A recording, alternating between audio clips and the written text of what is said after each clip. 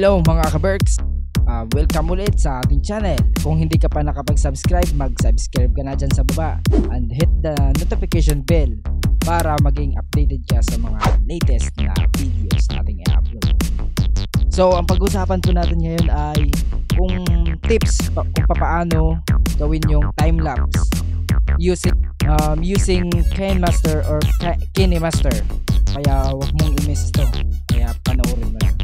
First natin gagawin ay kukuha tayo ng mga pictures.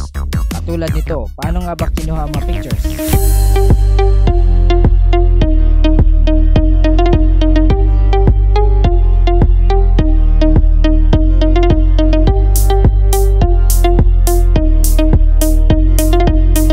First, open the KineMaster or KineMaster.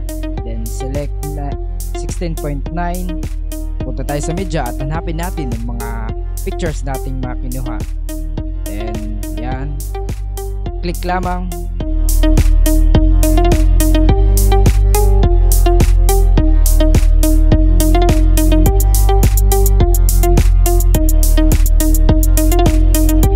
So, tingnan natin kung anong kinalabasan niya. So, ganito po. So, dahil mabagal siya, kailangan natin siyang gawing pa-in para ma- mapabilis ang ating pictures. Isa-isahin natin.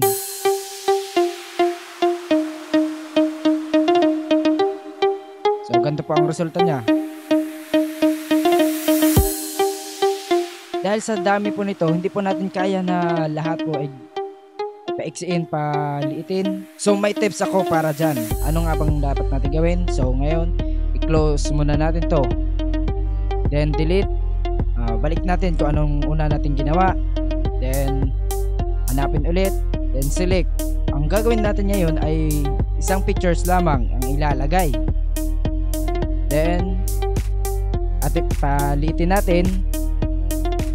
Tulad na itong ginawa. Then, punta tayo sa settings.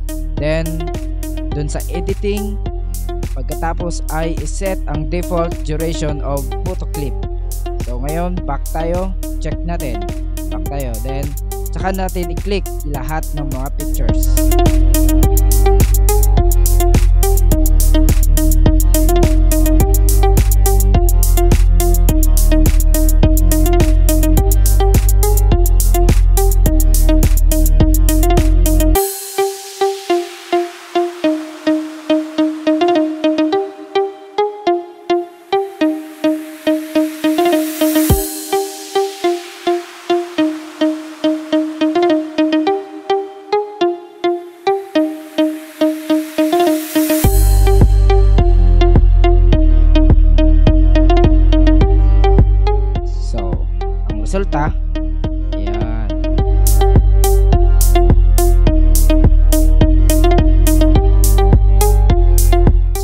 Sa parang medyo mabagal siya, hindi siya parang normal lamang siya. So, ang gagawin natin ay pangalawang pictures ay didelete natin.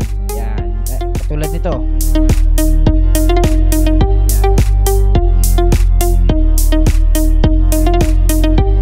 Tingnan natin ang resulta.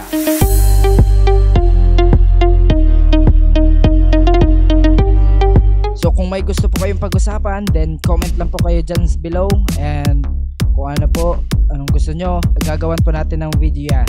So thank you po, marami pong salamat.